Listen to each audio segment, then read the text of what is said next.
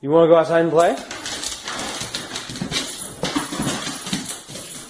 Every day when I get home from work. No traction.